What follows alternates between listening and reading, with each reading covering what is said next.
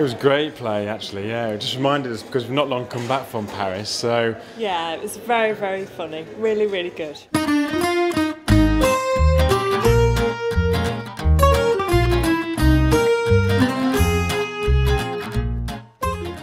the best bit I thought was in the restaurant actually when they're just trying to work out some of the things on the menu. Fabulous. We love John Godber. I thought it was wonderful. I could relate to every moment of it. It made me laugh all the way through, nearly made me cry at the end. I thought it was fantastic. I thought they bounced off each other really well. It was really funny. Brilliant. It was a very good show, really well acted. I don't know how they managed to do that for all that time with just two people on the stage. I think my favourite bit was when he said, I'm going to join in with the dancing.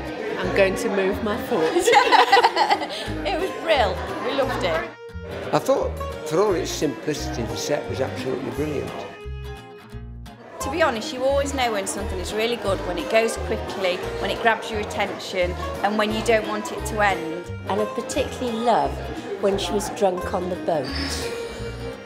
I felt like I was going to fall off with her. Can I go now?